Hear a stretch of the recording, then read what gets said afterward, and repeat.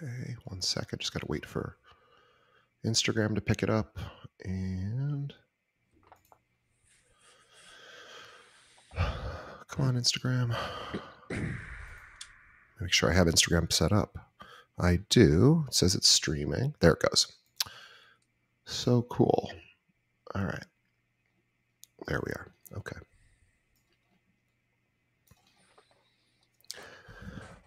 Welcome to Keeping It Real, the largest podcast made by real estate agents and for real estate agents. My name is DJ Paris. I'm your guide and host of this show. And today is our monthly series called Unpopular Real Estate Opinions. Now, Chris Linsell is the uh, is a real estate technology analyst, director of content at large. He specializes in new solutions to old questions, constantly exploring the cutting edge of technology in the real estate space. Chris has worked uh, has also has many years of experience as a licensed realtor in the state of Michigan and has worked as a marketer, a digital strategist, and a trainer for major national brands like Berkshire Hathaway Home Services of Michigan and Coldwell Banker Schmidt Realtors. Chris is currently the director of content with Luxury Presence and a perfect uh, guest to have today. Chris comes on regularly, and today we have a lot to talk about with the recent news of the NAR agreement.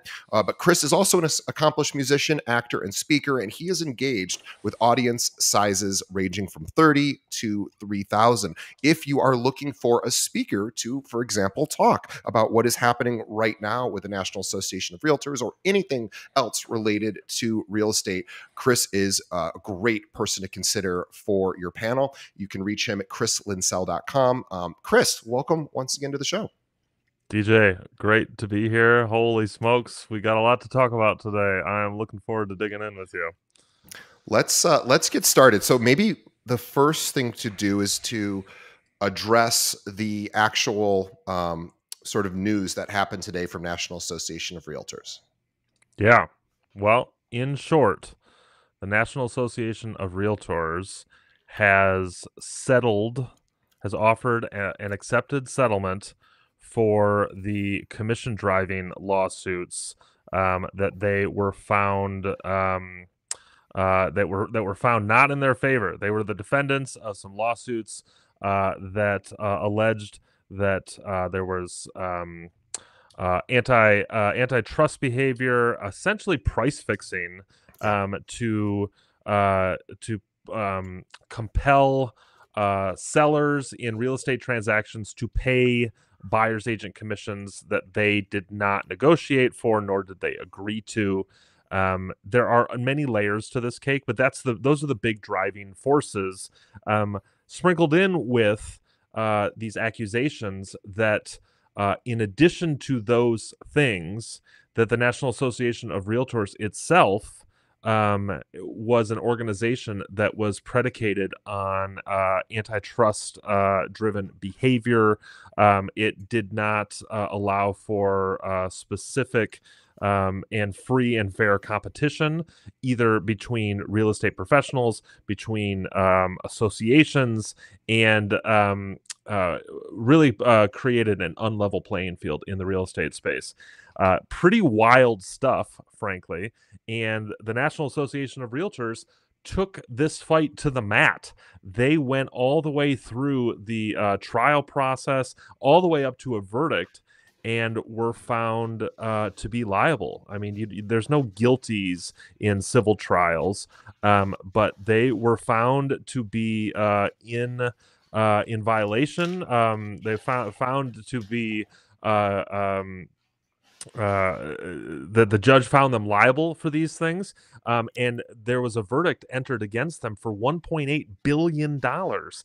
And one thing that is important to remember here too is because of antitrust law in the United States, plaint- plaintiffs in antitrust lawsuits can receive up to triple the ap- applied damages. So they could have been on the hook for 5.4 billion dollars. And the National Association of Realtors today, it is Friday, March 15th, um, entered a, an accepted settlement for $418 million worth of damages and compelling them to um, change a whole bunch of very important uh, rules important to the current structure of the real estate business. And those of us who follow this closely, and really anyone with a real estate license, should be paying attention because we are about to have an extraordinary disruption in our industry. Yeah, we just had the head of Keller Williams recently step down. This just happened. This is a this is a big week. Um, I guess my my first question is about before we get to how does this does this impact agents, which is obviously the most important piece for our audience, I'm just curious about the 418 million. And I know you may not know the answers to this, but I'm curious. Two, two questions. I'll ask one at a time because I've learned compound questions not great for interviewing. So I'm trying to do better. I am trying to be a better a better interviewer. So I will ask. First of all, does the National Association of Realtors have 418 million to pay out, or do you know? Yeah. So um, obviously, I don't have a National Association of Realtors checkbook, uh, but I can tell you uh, because of the way that um, professional trade organizations, because of the laws around taxes uh, for these sorts of things, there is a requirement for financials to be have a certain level of transparency. And um, I think at the last filing, the National Association of Realtors had somewhere in the neighborhood of a billion dollars in terms of cash and assets. So $418 million, this is not going to be something that is going to shutter their um, their organization. Um, but I mean, an important question to ask because had they not settled, and had they been the hammer been dropped on them, they likely would have to file for bankruptcy uh, instead of uh, being, you know, instead of facing the possible penalties they could have received. So, four hundred eighteen million dollars is is an incredible amount of money, it isn't anywhere close to what they could have been um, uh, uh, uh, required to pay. Um, but the short answer is yeah. I mean, as long as they're being transparent and truthful, which every indication is that they are, they have this money. Now, whose money is it exactly? that was my second that's, question. that's going to be another conversation because I mean, I don't know about you, but I like I've paid my fair share of dues the National Association of Realtors, like, are some of my dollars in there? I mean, obviously, yes. That's how this organization makes money is collects dues. I mean, actually, they make money in a lot of different ways, but a big way is by collecting dues from their, you know, one and a half million members. And so, uh, you know, the the the money that's going to pay these lawsuits that's your money. that's my money too. I mean, if you if you, you think about it that way, but I mean, eh, well, and I guess before we get into how does this impact agents, this idea of the reason I'm asking about National Association of Realtors is because they did have a stranglehold on the housing market, of course, because as as Chris, you were actually saying this offline, and I apologize, I'm, but I should bring this to the audience's attention. Is this is a very interesting uh, industry where I believe something close to 95% of residential home transactions in this country go through a realtor, which is most of those agents are going to be members of their local association, their state association, and by default, the only national association, which uh, is uh, NAR. And now with a lot of the challenges NAR has been facing, including you know what we heard today with paying out a, a, a pretty uh, nasty settlement uh, amount. I'm curious if you believe, and we have, I know we've started to see it a little bit before this announcement, but do we think that state and local associations will begin to detach from the National Association? Because one of the findings, I believe, is agents are no longer required to be a member of the National Association of Realtors.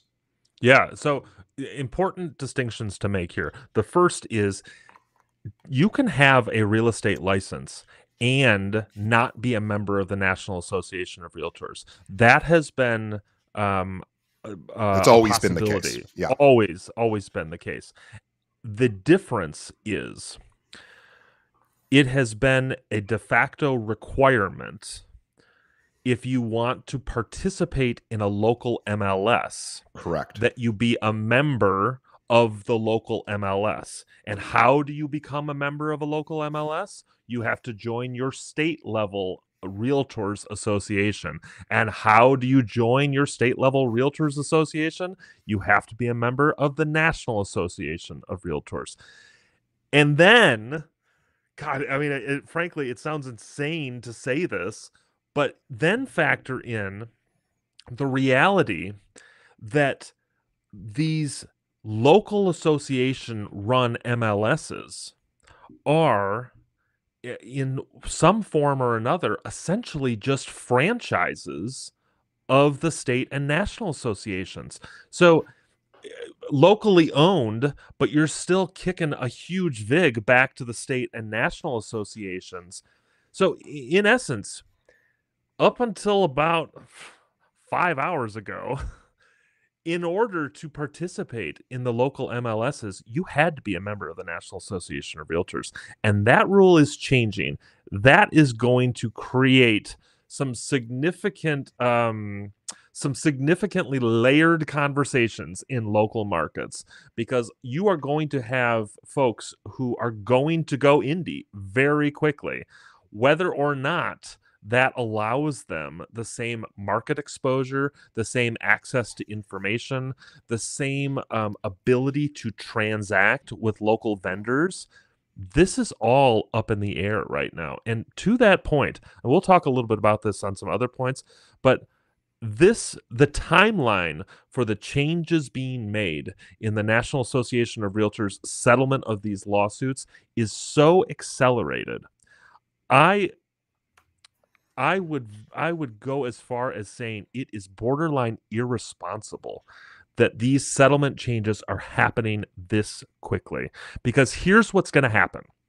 These rule changes will structurally weaken the National Association of Realtors.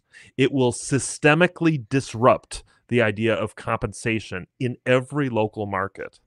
There's going to be significant variation and experimentation and competition in pricing that's what we expected. That's the heart of this lawsuit. But the second order effects here are that there's going to be some buyers who are going to be taken advantage of because they don't have a standard of practice that they know they can follow any longer. And NAR will not be there structurally to support business because they have had their legs chopped out from underneath them. So agents are going to be on their own and consumers are going to be relatively weakened at least in the short run in some cases because of this. Could, could you speak to the idea of buyers potentially being taken advantage of? Yeah absolutely. So put yourself i'm going to give you a scenario here. Let's say that you go to the supermarket and you need a gallon of milk and the prices for every gallon of milk are just stickered right on there. Here's how much the here's how much the milk costs. Here's how much the two percent, the whole milk, the, uh, the skim milk. Here's how much it all costs.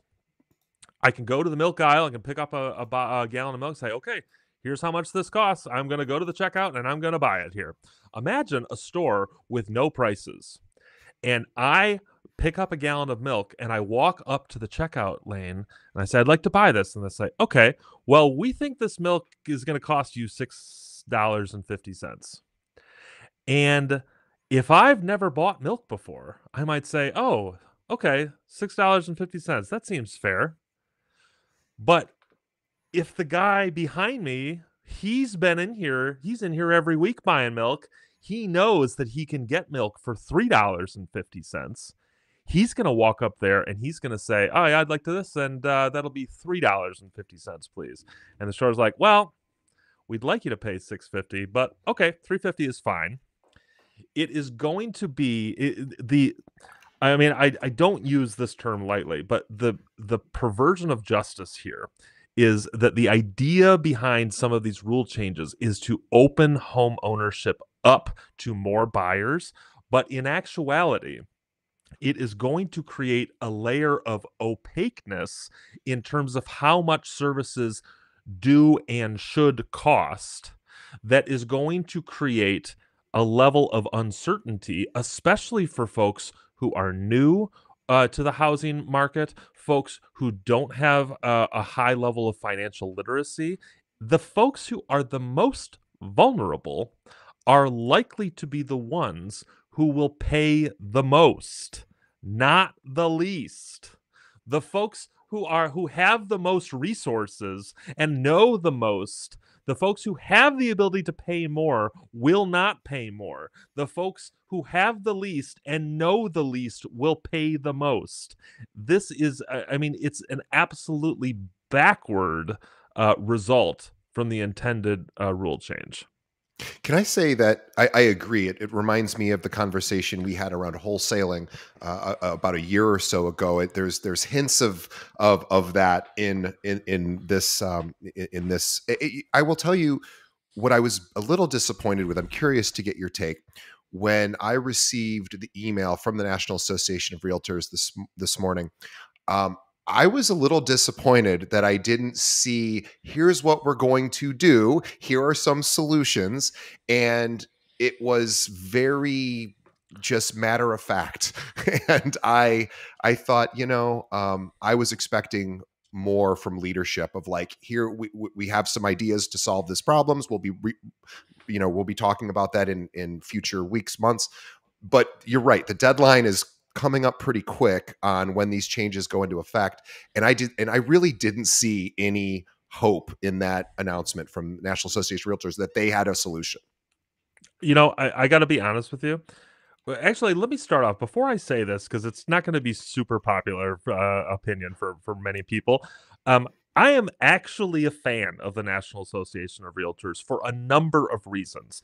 The primary reason being I believe that there is a level of cooperation and coordination necessary amongst real estate professionals in order to provide uh, appropriate uh, and high quality service for communities.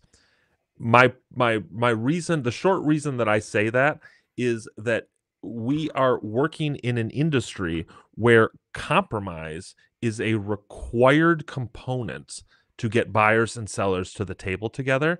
And so if buyer and seller agent relationships are adversarial, that cooperation happens much less frequently and the end results are much less beneficial for all parties.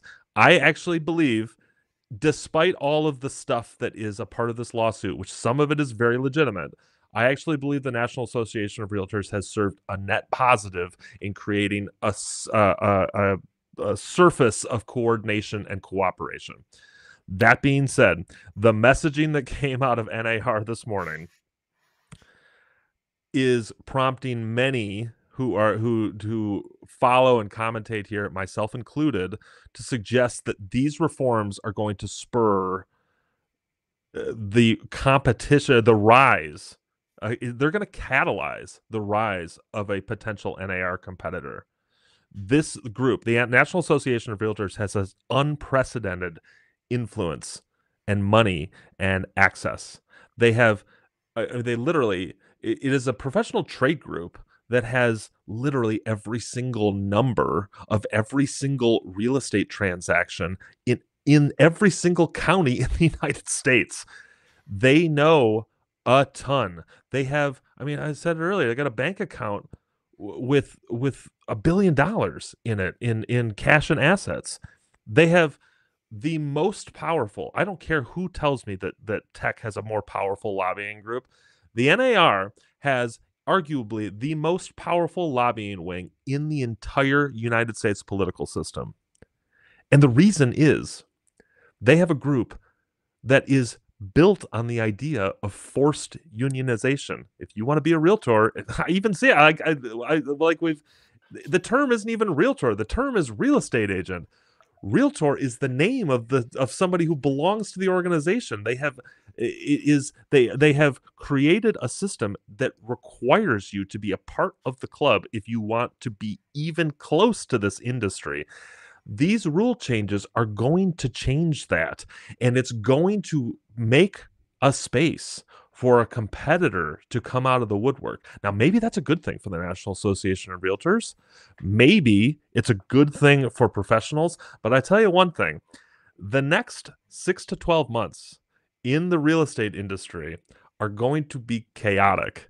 And that's going to translate to our clients as well. There is going to be a certain amount of disruption uh, it, and will be magnified in in certain markets because just because of the housing stock, because of the typical prices there.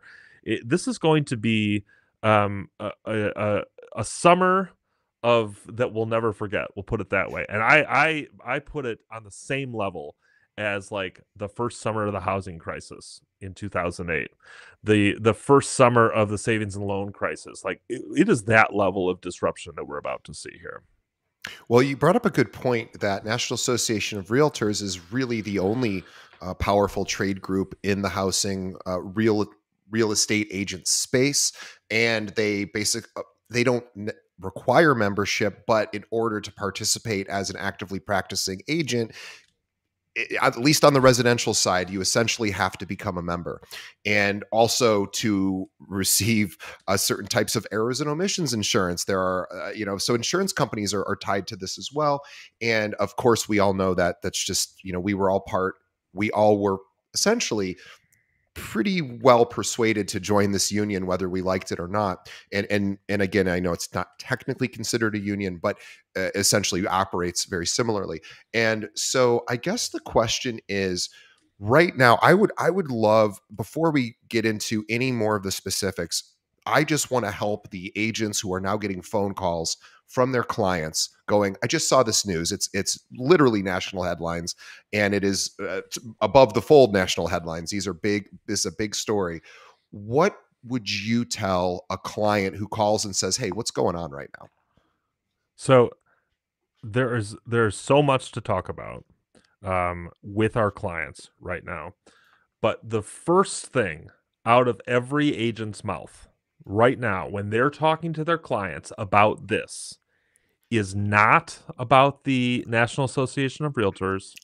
It's not even about commissions. It's just about value. The very first the very first conversation that professionals with their clients need to be having is listen, there's a whole bunch of stuff going on in the real estate industry right now. What does not change, no matter all of the other stuff, but what does not change is my commitment to you my fiduciary duty to you, my personal commitment to provide you with the services that you need in order to execute on the goals that you have. That's it. Full stop. That's a great answer. That's that should be the the I mean it should be the only thing that is is in that first conversation. All of the other stuff is secondary to that. If your clients are confident in that, then you're groovy. You're I mean, it, frankly, all the other stuff is going to fall in behind it. Here's what you could do wrong though. If somebody calls you up and asks you some questions about this, if you start talking about, oh, well, there's going to be some alternative compensation models, and oh, well, you know, maybe some, you know, maybe buyer's agents won't be doing as much, or uh, maybe, you know, be the responsibility of buyers to do, you know, X, Y, and Z on their own, and then buyer's agents will come. Like, that is you explaining how your job and your responsibility is changing. Right. That's a terrible idea because honestly, that's not actually true, at least not right now. I'm not saying that it couldn't be true even in the semi near future, but in the next six to 12 months, this is why things are about to get so difficult is our responsibilities to our clients are not changing but right. the way that we interact with them with our checkbooks is and this is going to cause some significant discomfort for a lot of folks both on the client and the agent side Another thing that I would add in, just just to kind of close the answer to this question, is as you are thinking about buyers and assuring them of your commitment to them, continuing to assure them that they, especially buyers, man, I just have to stop and say this, this is especially true for buyers, assuring them that they will continue to have access to the properties on the market regardless of what's going on um, with the National Association of Realtors is critical. The last thing you want is your buyers to think that because of all of this stuff going on in the industry, that there is a possibility that they won't have the opportunity to see homes that are available what because it's of commission structures or because of who lists them that is a, a poison pill for the industry that is the moment that confidence begins to erode in the uh, seriousness and professionalism of real estate, if we have even an ounce of our clients thinking that there are going to be some homes they can see and some homes they can't by virtue of the brokerage you belong to, then we got. I mean, I mean, this is uh, it's it's a civil war. I, I mean, at that point, it, there is there's no coming back from it. Then then we blow up and start over again. Frankly. Yeah. Um, let's let's talk about some of the actual settlement um, main talking points. F- first, Yeah. th- this is probably no surprise to the audience, but using buyer agency agreements are now going to be required, um, which will also stipulate compensation. Uh, or, Mhm. or they can compensate. They can talk about compensation if you, as the buyer representative, uh, buyer agent uh, representative, if you want to be compensated, um, Mhm. and you are going to have to have your client sign a form that is an agreement about exactly how you're going to be compensated uh, if and when you know that actually happens. Mm-hmm. Yep. So, uh, actually, a couple things to just clarify on this because the language is a little murky, ironically. It is. um, in this. But as I'm interpreting it, what the the major rule change here uh, that is important here is that NAR is establishing a ban on any sorts of rules that would allow a seller's agent to uh, the uh, seller's agent to excuse me. See, even I'm getting it wrong. This is the the the verbiage is really important here Yeah. the one of the rule one of the things as a part of the settlement is a ban on NAR establishing any sort of rules that would allow for a seller's agent that would allow a seller's agent to set comp for a buyer's agent. So what's important here, the distinction is the ban is that the NAR can't set these rules. Sellers agents can still do this. It is not outlawing the practice of offering buyers compensation as a part of a listing contract. That has not been outlawed. What has been outlawed uh, is NAR, any rule from NAR, even insinuating a mandate that that has to happen. And to Right. be fair, the National Association of Realtors has always said that they do not have a uh, mandate for this, that you don't have to do this. In fact, you can. Um, I, I remember actually when I was a junior agent working on a team, there was a, a, a broker on the team who would consistently he would take a five percent commission total total commission. He would take three and a half percent, and he would put one and a half percent in the buyer's agent field. Um, he's like, "There's no rule that says that has to be split. I can put whatever I want in here." Um, and I'll be honest with you, he didn't have the best um, uh, reputation within our professional community. He didn't care, uh, but that was a that was uh, just that was the reality. And just generally speaking, the National Association of Realtors will tell you there has never been a rule that says you have to split commissions, you have to even offer a commission. Where the problem was, and what the lawsuit eventually found was, even though it doesn't say it in writing, it is based on standards and practices. It is an unwritten, implicit rule, a practical requirement that you follow this unless you want to be blackballed from the community, essentially. Right. If you're if, you the listing agent are not offering a well reasonable is, is a subjective term but but what the market and other agents consider to be a reasonable compensation on the buy side uh, are agents going to sort of just for their own self-interest potentially not show those properties. The answer in a perfect society would be nope they'll show them no matter what if there's compensation or not. But uh, because as a fiduciary we do have th- this is the, the whole issue is as a fiduciary you have to show the properties that are going to be in your client's best financial interest and the Mhm. best to meet their potential objectives irrespective of the commission so i do like in theory this idea that now going forward mls listings will not showcase here's how much you're going to get paid mr and mrs buyer agent if you bring me uh, a a, a client because I believe that is no uh, starting in July. You will no longer see the cooperative compensation field on any listing. Uh, That's uh, correct. is okay.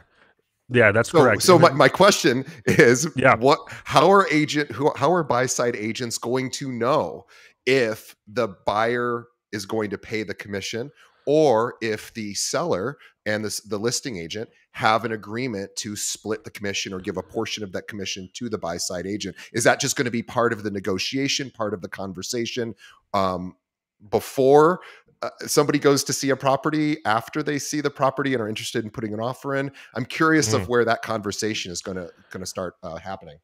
Well, that's a great question, but and, actually, before I even dig into that, I just I take a little issue even with the premise of the question, um, only because um, I think that there is there's a lot of of inflammatory talk around um, the effect of the scenario that you just described, even from folks that I really respect. Like Deborah Kamin has an article in the New York Times this morning where she uh, uh basically outlines uh, what she just calls critics uh, of this practice say that by displaying the um, the compensation levels publicly, it results in steering, which is basically real estate professionals will steer their clients to transactions with higher commission opportunities for them instead of um, of treating all homes equal opportunity.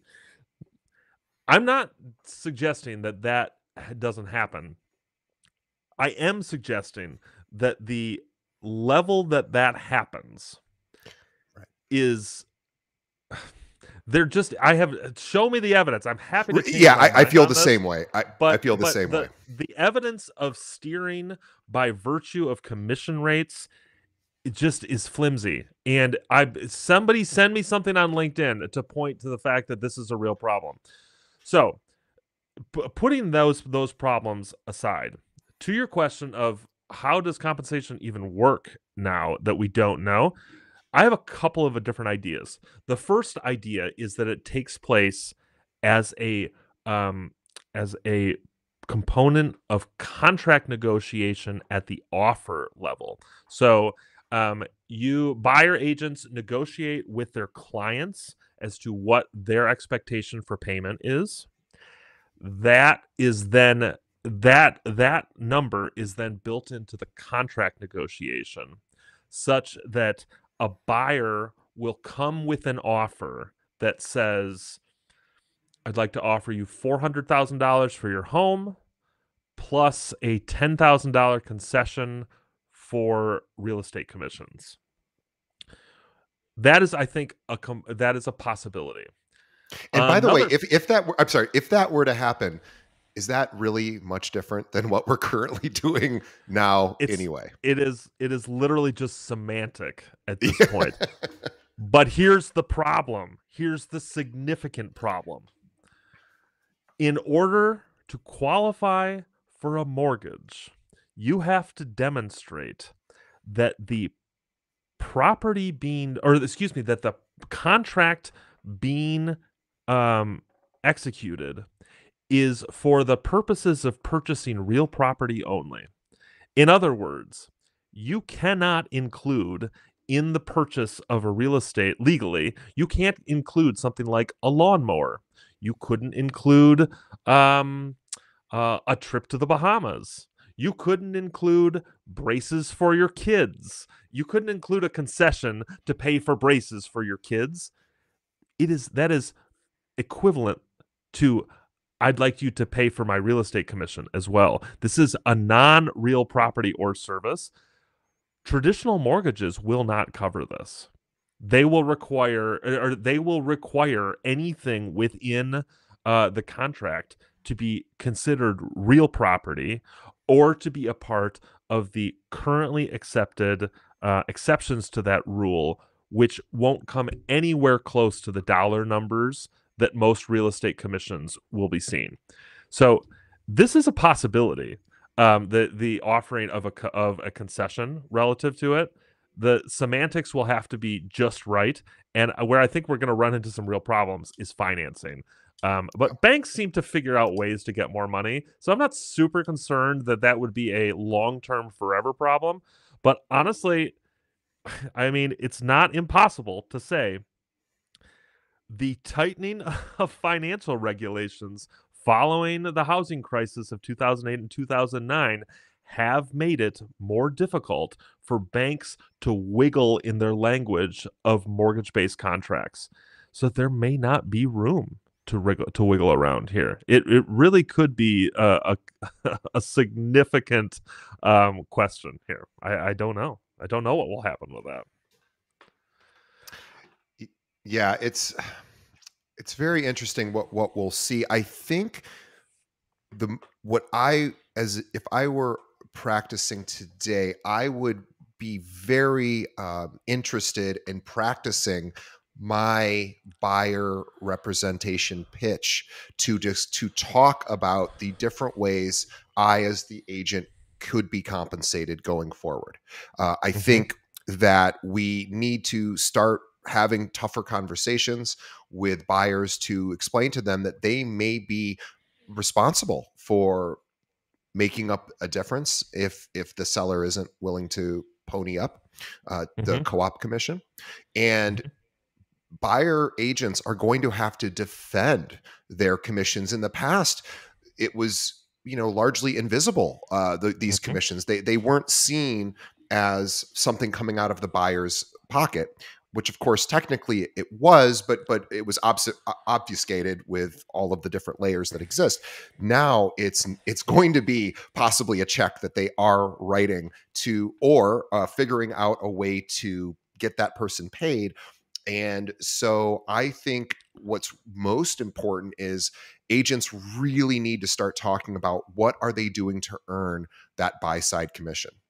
Mm-hmm.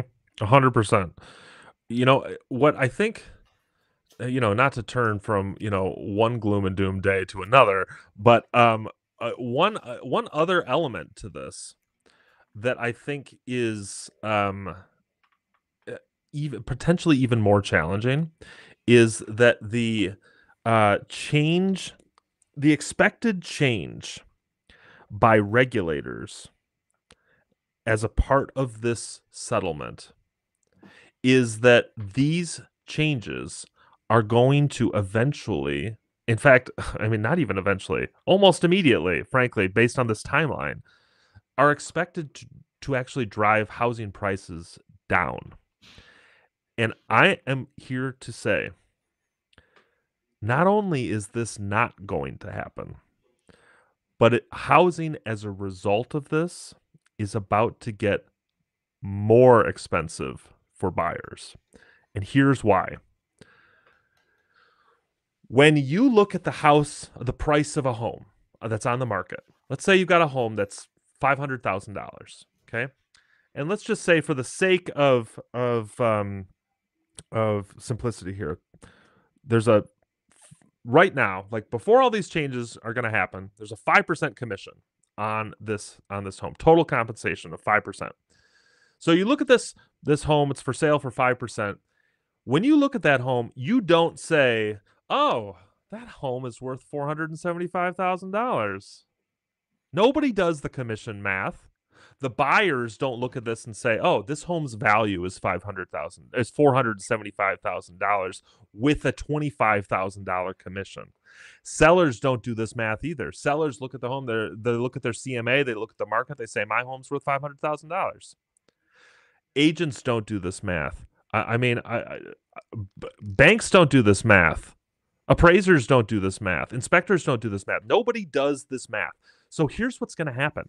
If we take the buy side commission and starch it out of the uh, transactional process, the expectation is that that's going to be returned in value to the market. But that's not going to happen because nobody does the commission math. What's going to happen here is that that two and a half percent that was going to the buyer's agent is now going to just be returned as increased proceeds to the seller. Yeah. It is going to create a scenario where the rich stay richer and the poor get poorer because the owners of the home are going to be able to keep more of the proceeds of their sale, and the buyers of the home will now be required to compensate their buying agent which will reduce their total purchasing power and it will create a scenario where fewer people have access to home ownership, especially in these pivot markets where we have home ownership that is literally the difference between affordable and unaffordable is $5,000 for some people. And when you are when you become cash responsible because a mortgage won't cover the compensation of your agent, you won't work with an agent any longer. Your access to housing will be diminished. Your ability to get into properties will be less. This and, is going and to your result, access your access to professional services on the buy side will also be be reduced. 100%. 100%. So all of this is likely going to result in a less balanced housing market, not a reduction in cost. You know, there is uh, who was it? Like um uh, Norman Miller, I think is uh, he's a professor emeritus uh, at uh, of real estate in uh, University of San Diego. Said that his his quote this morning was that this is going to blow up the market and would force a new business model, and I think that that is true. But a new business model after we absolutely decimate the existing one by virtue of cre- I mean it, this is going to completely throw the the real estate market or has the potential of completely throwing the real estate market into chaos before it does it. Yes, a new business model is likely to emerge here, but not uh, not on the grounds uh, like the fertile un unplowed grounds of a field out in the middle of the woods. It's going to be rebuilt uh, like on the ashes of the homes they just burned down first. I mean, it, it's potential of being very dramatic here. It's yeah, and I'm also too. I'm going. I'm interested, and I'm curious to get your take on will MLS listings um, or the saturation that MLS has in the housing market, really all over the country. Of course, there are uh, non MLS transactions that happen, but they are usually on the residential side, at least in the minority. Will we start to see fewer MLS listings as a result? Hmm. You know, I think uh, that is a very interesting second order effect that is certainly possible. Um, I don't see that being the case immediately, solely for the fact that we don't have infrastructure to support non MLS listings. Now, what could happen here? I, frankly, I think this this would be amazing. Well, is, there is one company that has the infrastructure to possibly become oh, an MLS replacement. Weird. I wonder which company that would be. well, who, Actually, there's there's even more than just one, but there is one that certainly we we would probably think of first. You know, I I agree with you. And uh, for anyone who is who's wondering, we're talking about Zillow here. the reason why I don't think that that's necessarily the case is that Zillow's entire business model is built on the back of um, IDX integration with MLSs. If MLSs go away, Zillow doesn't have uh, the data to feed. It would require a, a sort of manual subscription and upload. Now, that being said, I have been a long time advocate for a national MLS. Um, and the idea that we could transform Zillow into a pseudo national MLS is very uh, interesting to me. Um, and for those of you who have uh, like a gag reflex around the idea of Zillow getting more into your business, I just want to remind you, and again, I like the National Association of Realtors. There is no hate in my heart here, but I just want to remind you this is not a community organization sponsored by the local Baptist church. This is a for profit entity who is in the business of creating opportunity, yes, for its members, yes, for the communities they serve, but yes, for themselves. This is a business. Zillow is a business too. I would venture to say there is a better opportunity for a broader, more applicable service run by a tech company like Zillow instead of uh, the sort of structure and priorities necessary to hold together the National Association of Realtors. That's a whole other conversation. But long story short, um, will we start to see more listings translate off the MLS? I think it is possible. And I think there could be there could be a, a scenario where this actually becomes really really cool. The reason is and and is that I, I have said for a long time for most real estate transactions the MLS does 95% of the work for you. It distributes the property to all of these different groups that have IDX feeds. It puts your property out where listing agents and buying agents uh, and interested buyers can see it. It does essentially almost all of the marketing during when when when inventory is tight and it's like a crazy hot market. It does all the marketing. You put it up on the MLS, you get 10 offers without even showing it. Imagine a world where that no longer happens and the only way to get exposure to listings is by your listing agent being the best damn marketer in the entire uh, uh, uh, organization, association. It will become a pure meritocracy on the strategies of property marketing, on the strategies of exposure, on strategies of finding the right set of uh, buyers via the audience and the channels that they choose, real estate could become a renaissance industry for successful marketing because all of a sudden we wouldn't have this uh this i mean let's call it what it is like the mls is just a generic um, grocery store where all the shelves are all the same. Everybody's product sits on the same uh, amount of shelf space. They just you just walk up and down the aisles. You select, uh, you know, you go to the aisle that has the right kind of house for you. Just walk up and down. That's it. You just choose one off the shelf. That's it. Imagine a world where the only way to find the right market or the only way to find the right house is to uh, to have property marketing that connects you to the right home. Now you have a real meritocracy around who's best at listing property. And you even get a meritocracy around buyers agents who are best at finding the right property. If I had to do it, if like if I was in the driver's seat, I don't think I would abolish the things that the uh, that this this settlement has abolished. I think I'd be going after the MLS. Yeah, that's really interesting. I I, I, it reminds me of when I've had people on our show, uh, agents, top agents who sell uh, list these mega mega properties where you know we're talking 10 million and above and the MLS does not do the marketing for them on properties yeah. like that because it's just not what the average consumer who has access to the MLS is, is going to be able to afford. So these listing agents have for for ever since it existed the responsibility of actually in a lot of cases finding the buyer and having connections to other real estate agents who represent buyers who can afford uh, you know those types of properties. And it is not just on the mls and then i just wait for those offers to come in. So i do agree there is this will agents who know how to market properties if if the MLS becomes not the de facto place where where everything's listed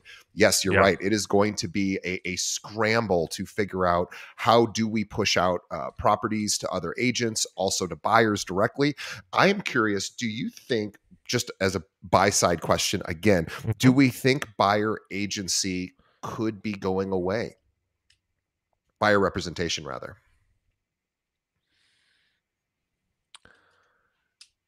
And, and I, want to preface that with with with one one little statistic. So, uh, and again, going away is would be a very extreme uh, example uh, or extreme um, uh, sort of thing that would happen. But T, what's the name of the? Sorry, I just uh, lost it. But there, uh, some. My apologies, I, I lost it. But there was a. it is. It is.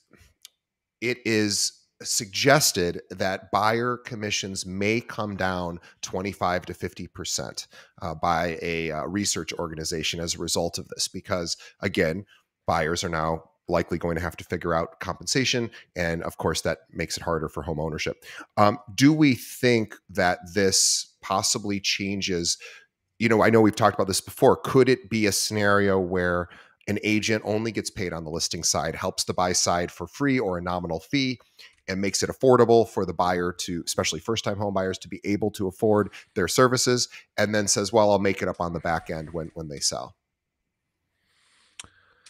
I think that there is a world where dual agency becomes the um, becomes the standard practice in real estate.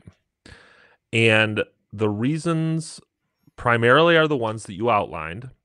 It's going to become difficult to figure out, at least in the short run, how to pay buyer's agents effectively and consistently. It's going to be difficult for buyer's agents to develop business models around um, the work that they do because they won't be able to consistently plan on how much money they're going to make transaction to transaction or even how they're going to make money transaction to transaction.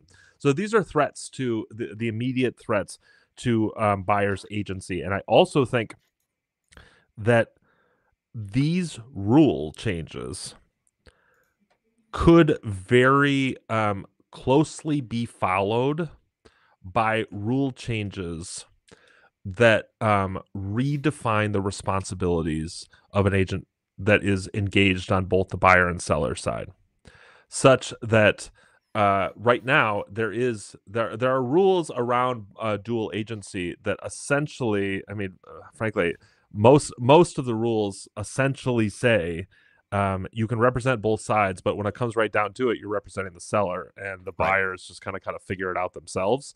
Um, in in those scenarios, it would not surprise me if these changes are followed by changes in 24 or 36 months that change the the rules around dual agency and the requirements for agents to practice. Um, that being said, I don't believe that buyer's agency is gone and, or will go because there are um, there are there are too many scenarios that require specific advocacy for a consumer to be successful when purchasing real estate. And when I say spec- like advocacy, I mean dedicated exclusive advocacy. I think that there will be a rise in non agency driven purchases in the same way that over the last 20 years, we've seen the rise in the purchase of automobiles that don't come from dealerships. Like you can go buy a car from Carvana and not even talk to a human being. You can just type about it, right? In the same way that we never used to buy our own airline tickets, we go to a travel agent for that. Now, I, I mean, I genuinely bought an airline ticket on my phone while eating something last night at the same time at the same uh, the same way that business will evolve via disruption the auto industry evolved via disruption because new technology made it made the information necessary to be successful accessible you can argue that Zillow did that 20 years ago within the real estate space, or at least started that conversation. We would not be having this conversation right now if Zillow didn't shine a light in a dark room 20 years ago. Because we would all still be dependent on our agents in order to get access to the information necessary to buy and sell homes.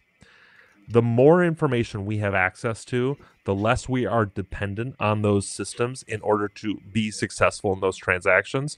But uh, there is a certain amount of experience and expertise necessary in still a measurable percentage of buyer situations that I think is still going to require advocacy.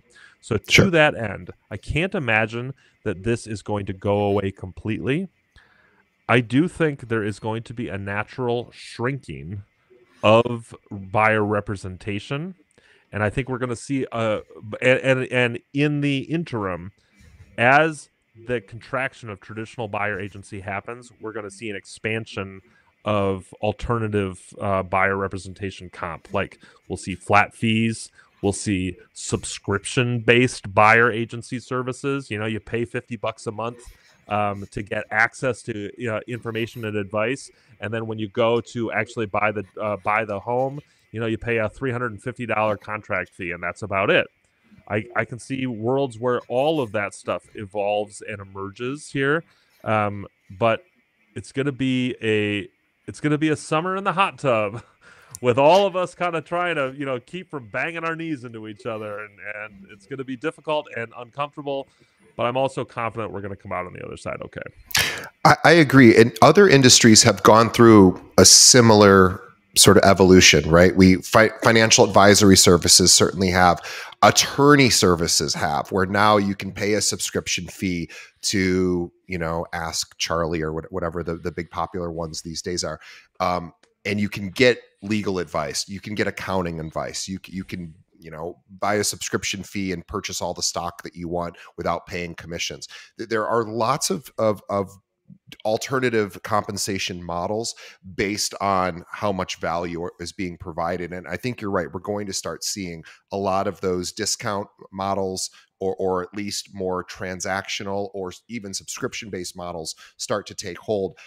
And i think the value as you said the expertise of a really educated and experienced agent is I think those agents don't have that much to worry about because I think they're going to be able to justify whatever the cost is to the buyer, if if any, uh, based on that experience, and they're going to have data to, to to back up.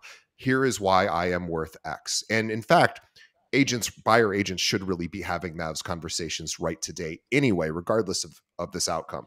Um, but I think that is going to force I think it's going to force agents to really up their game with respect to demonstrating and uh, and and persuading people that their value is what they're charging. Hundred percent. I'll say I, I, have the same message, the same parting words that I say to folks uh, when I talk to them about AI. If your value as a real estate professional is tied to your ability to access the MLS, to punch in a code on a lockbox, if your value is tied to your ability to execute tasks, AI is going to eat your lunch. It's going to take your job and eat your lunch. If your value is tied to your ability to provide expert level service, to um, to uh, uh, uh, create action around your unique ex- um, experience and uh, and uh, ability to use your knowledge of your local micro local community to give your agents an advantage or your your your clients an advantage. If that's where your value as a professional sits ai is not going to take your job. You are going to be totally fine. In fact you're going to do better. And the same is true for buyers agents. If your uh, value is tied to your ability to have access to the mls to stroke a pen across a contract and to punch in a lockbox code this should be very worrying to you. But if your value to your client base is connected to your unique experience, your specific knowledge of the market that you serve, and your ability to create advantage for your clients by virtue of those experiences, you're going to be fine. It's going to have you're going to have a few more conversations and there's going to be some sticky ones to figure out the logistics, but all of that you're just eh, you just have to take a, a, a, different path to the city of oz now. It's just not going to be the same yellow brick road you've always walked down but you're still going to get there. I also wanted to just leave our, our audience with a suggestion and curious chris to get your take on this suggestion uh, whether you agree or want to amend it or or, or dis- discount it. But i think now the agent is going to have a lot more power to demand from their local, state, and national association, if, if you ch- if they choose to continue to be members, uh, more advocacy and certainly more direction and guidance. And I think right now, you know, this is a time to be reaching out to your associations and saying, "Hey, I'm nervous. I'm worried. What are you doing to protect my job?" Or, or, the way I'm compensated for my services? What are the best practices that you've seen working, and what are you the working on to you know ensure that I'm going to have you know a, a way to a pathway to earn a living going forward? And I really will encourage people to reach out to their associations and say this is this is a pretty serious thing. I pay a bunch of money to you every quarter or every year. I would like to know what you are doing to help me. And that is their job. And so I encourage you. I, am somebody who volunteers at the local level. I love uh, our local association. I like our state and national association. I'm on the same page with Chris. Now is the time to demand some action um, because they have, uh, you know, made they they they first uh, National Association claimed that they would appeal this uh, verdict once other. Um, as Chris said, that the, the the, the potential downside to that was that they could be found guilty of a multiple of what they are ended up paying now. So it makes sense why they settled from a financial perspective. But now it's time to really hold their feet to the fire and say, what what are we going to do going forward? How should we do this? What are the best practices? This is why you pay them. Hundred percent. Yep. This is an opportunity to uh, to apply some of that professional pressure to um, make sure that you have uh, the opportunities that you deserve, especially for the money that you pay. And I would add, this is also a great opportunity to have a conversation with your broker um, uh, and uh, with the owners of, of your brokerage to say, listen, things are changing. What are our plans as a company? What are our plans as a franchise?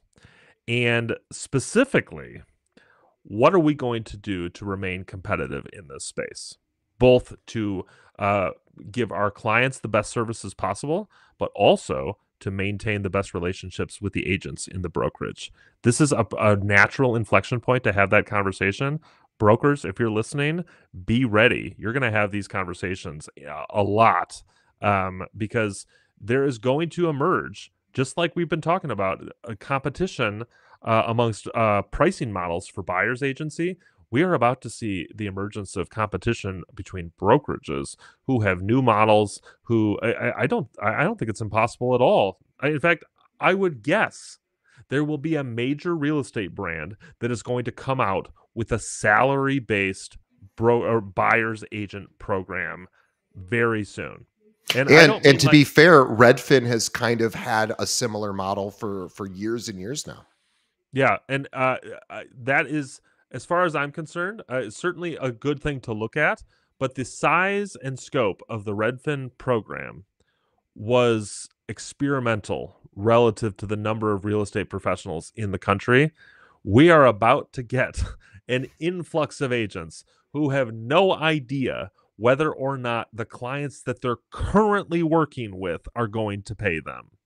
These are folks who have mortgages and light bills and college tuitions come and due, they are going to want uh, some assurances that the work that they're doing is going to be compensated for. So, if you are on the lookout for how that is going to be, uh, how you are going to um, create those assurances in your work life, talking to your local association, the state and the National Association of Realtors, definitely good.